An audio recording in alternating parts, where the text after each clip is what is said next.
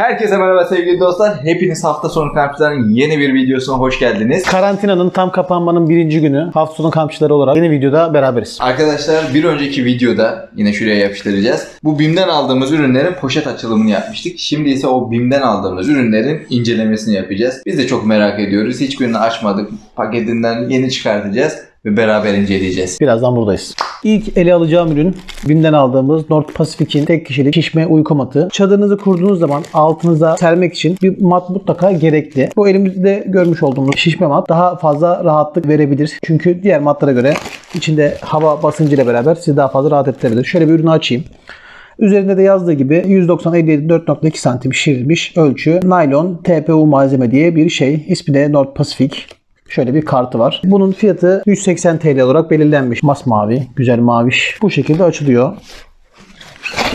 Şişirme de aynen böyle. Delik veya delinme durumuna bağlı olarak istediğiniz boyuta kesin. Hasar görmüş yüzeyi iyice temizleyin ve en az 10 dakika kurumasını bekleyin. Yamayı delik veya delinme üzerine sıkıca bastırın. Şişirmek için en az 4 saat bekleyin diye e, uyarısı var herhangi bir delinmesine karşı. Fiyat performans olarak baktığımız zaman iyi bir ürün diyebiliriz. Ama kalitesi, dayanıklılığı bunu tabii ki birazcık daha denemek, tecrübe etmek lazım. Evet sevgili dostlar sırada ne var? LED aydınlatmamız var. Bundan iki tane aldık. LED aydınlatmayı neden kullanmamız gerekiyor arkadaşlar? Örnek veriyorum kampa gittiğiniz zaman haliyle akşam da olacak ve kalacaksınız orada. Bizim için güzel bir ışık kalitesi. Orada bizim etrafımızı hem görebilmek, yapacağımız yemeği görebilmek, kamp çadırımızı, alanımızı ışık sağlayabilmek için güzel bir ışık kaynağına ihtiyacımız oluyor. 15 TL'lik bir fiyatı var. 3 tane pille çalışıyor arkadaşlar. Şöyle arkasında da güzel detaylı bir bilgi vermişler. Malzemesi ABS plastik ki 15 liralık bir tane üründe çok fazla da bir kalite beklememek gerekir. Açıkçası kampta bizi yarı yolda bırakmasın. ışığıyla etrafı biraz aydınlatsın yeter mantığıyla aldık. 60 lümenlik bir ışığı var arkadaşlar. Şimdi bunu açıp da deneyeceğiz zaten. Şimdi şöyle kutusunu bir açalım. Yanında bir tane kancasıyla beraber geliyor. Bu kancayı şuraya takıp kampınızın herhangi bir noktasına, kamp çadırınıza monte edebilirsiniz. Burada bir tane düğmesi var. Bu düğmeyle 3 tane modu ayarlayabiliyoruz. Yüksek parlaklık, düşük parlaklık ve SOS modu. Şimdi biz bunu bir deneyelim. Şöyle içini açtığımız zaman kalem pil koyabilmek için yerimiz var. Buraya kalem pillerimizi koyacağız. Pratik arkadaşlar. 15 liralık bir ürüne göre fiyat performans gibi görünüyor ama bakacağız şimdi bunun ışık kalitesi nasıl. Böyle kalitesiz bir dandik bir şey yapmışlarsa hiç almaya gerek yok. Birinci mod yüksek parlaklık modu. Yanmıyor lan. Dur yanlış taktım herhalde. Artı eksi. Böyle deneyeyim. Yanlış mı bağladım ben ya? Ee, giriş kısmında gösteriyor. Şurada bir ok var. Oku takip ederek içeri daldırıyorum. Şimdi bir kapatalım.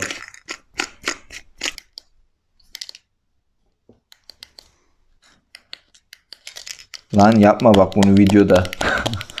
bunu video Olmaz. Bim. Bim. Bim ayıp oluyor Bim. Bak. Bu şu an burada çalışmazsa mahvoluruz. Arkadaşlar kazıklandık galiba. Neyse bu videoda denk gelmesi de güzel oldu.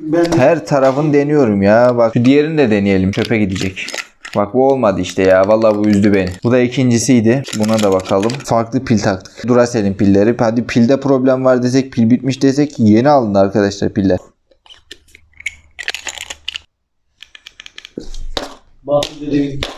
Demek ki BİM'den kamp lambası alamamak yok. Kardeşim yani şöyle şurada şununla zaten denemek istiyordum. Yani tamam mı şunun ışık kalitesi bu Decathlon'dan aldığımız. İkisini karşılaştırmayı düşünüyordum. Karşılaştırabilecek kadar bile dayanmadı.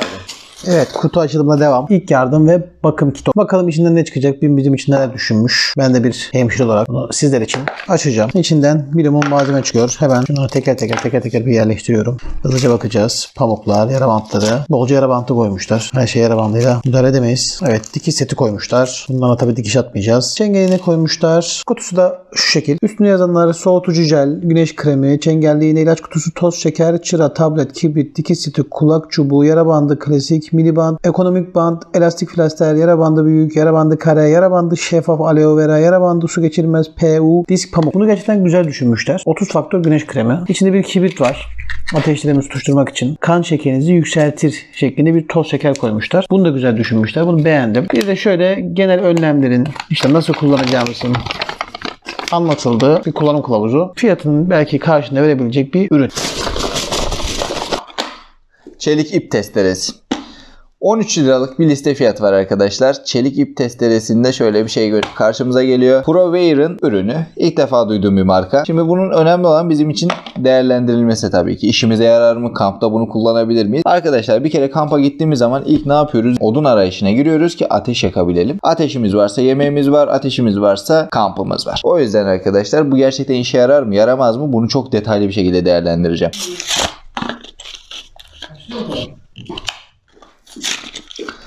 Şöyle güzel basit bir açılışı var, açılımı var. Şöyle kenarda dursun. Şöyle bir şey geliyor arkadaşlar. Kolye gibi bir şey. Yani en azından işe yaramazsa bile bunu kolye gibi kullanabiliriz. Şöyle bir açalım. En azından ilk tutuşturma için işe yarayabilir. Yaklaşık 50 santimlik bir uzunluğu var. El kesiyor mu? Elim kanamadı.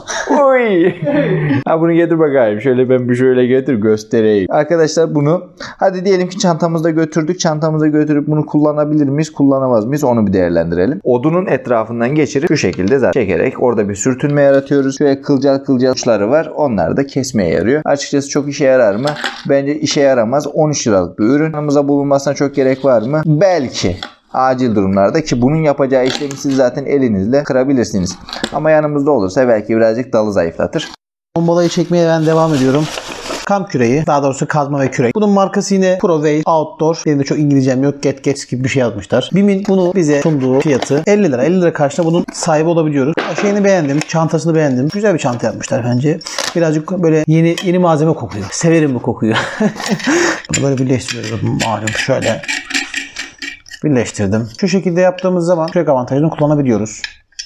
Eyvallah. Küreği şöyle kapatıp kazma olarak da kullanabiliyorsunuz. Şuradaki aparatıyla da döndüre döndüre döndüre döndüre sabitleyeceğim şimdi. E, güzel bir ürün ama 50 lira. Yani BİM açısından fiyatı fena değil. Kampa gittiniz. 2 gün bir kamp planınız var. Ne oluyor? Tuvaletiniz geliyor. Yani tuvaletinizi yapmanız için birazcık toprağı eşelemeniz lazım. Bunun için tabii biz ellerimiz o kadar yaba değil. Bunun için bunu kullanabiliriz. Bu gerçekten onun için güzel bir ürün. Demek istediğimi anladınız. Bu tarafıyla eşersiniz. Bu tarafıyla da kapatırsınız.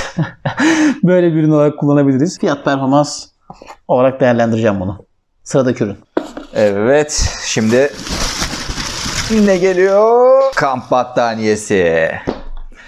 İki tane kamp battaniyesi almıştık. Bu kamp battaniyelerinden bahsedelim şimdi. Polar kamp battaniyesi e, bizim bence BİM'den aldığımız en yararlı ürünlerden birisi. Mikro Polar anti-peeling özelliğine sahip. Bu Polar kamp battaniyesi %100 polyester arkadaşlar. Burada şöyle gördüğümüz gibi bir tane elastik bandı var. Bunu kolay bir şekilde sabitleyip küçük kullanılabilir bir şekilde getirebiliyorsunuz. Kamp çantamızda bir tanesi bulunabilir, iki tanesi fazla yer kaplar. Kış için ideal. Piknik tarzı bir yerde oturuyorsunuz ve sırtınıza bir şal gibi bir şey almak istediniz. Bu battaniye o görevi görebilir. İkincisi ise diyelim ki yatacaksınız. Uyku tulumunuz 10 dereceye uygun ve gecenin soğuk olacağını düşünüyorsunuz. Sahildesiniz. Yine bunu yanınızda bulundurabilirsiniz. Benim BİM'de gördüğüm en iyi fiyat performansı sahip ürünlerden kamp malzemelerinden biriydi. 23 TL'lik bir fiyatı var. Evdeyiz ve denemeye geçiyoruz. Hadi bakalım. Diyelim ki ateş başına geçtiniz. Biraz daha böyle hava ılımaya başladı. Yine bunu sırtınıza alıp sırtınızdan yiyeceğiniz soğuğu da biraz engelleyebilirsiniz. Pratik çantanın yanında şöyle güzelce bulunabilir. Üstünüze rahatça alıp tekrar çantaya koyabilirsiniz. Siyah rengi vardı ve maviye yakın bir rengi var. Bu rengin tam ne olduğunu bilmiyorum.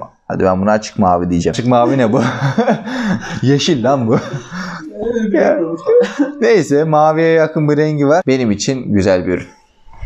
Kanka bak şu özellikle şuradaki espriyi ön plana çıkartmaya çalışalım. Görüntüyü gösterelim. yaba değil. Bunun için bunu kullanabiliriz. Bu gerçekten onun için. Kaslar kış için elastik bandı var. Bunu kolay bir şekilde sabitleyip küçük kul mavi diyeceğim. Mavi ne bu? Yeşil lan bu. Güzel oldu. Şurada güzel bir karşılaştırma yapmışız kıyaslama. Yeşil mi mavi mi? Orada bir renk karışıklık olabilir aynen. Ama biz neyi unuttuk? Oğlum biz kapanış videosu çekmiyorduk. Kapanış videosu nerede? Kapanış videosu yok. Hadi o zaman kapanış videosuna. Arkadaşlar BİM'den aldığımız ürünlerin incelemesinin sonuna geldik. Furkan'ın değerlendirdiği battaniyelerden renkten bir tanesi sizce mavi miydi, yeşil miydi? Bunu YouTube yorumlarında ve Instagram yorumlarında bekliyoruz cevaplarınızı. Bence açık maviydi arkadaşlar. Bunu lütfen yorum bölümünde belirtin. Açık mavi miydi, yeşil miydi, sarı mıydı? Belki de kırmızıydı. yeşil, yeşil. Evet bence çok eğlenceli bir video oldu. Benim Ben de- çok içime sindi. Aynı şekilde e, bir kamp yapacak kadar eğlenmediysem de evde hafta sonu kamplarının maksimum eğlenme seviyesine çıktığımız videolarda keza gizli bir iki sahnede olduğu gibi.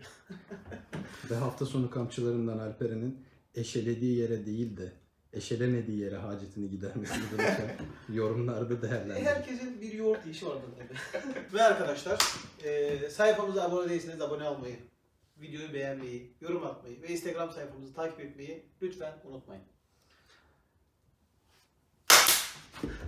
Ve kamera arkasında da ben varım.